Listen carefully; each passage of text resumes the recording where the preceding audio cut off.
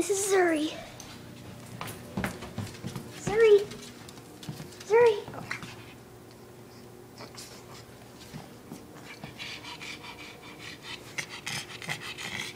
You know, you don't want it? She smells food. No. When she smells food, she's got one thing on her mind. Eat. How can I get to it? Absolutely, because she doesn't, it's like we never fed her. Right? And she had moms. Zuri. Like, let her have some of their dog's food.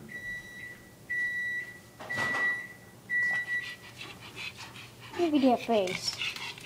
If I can get to your face anymore. No, you.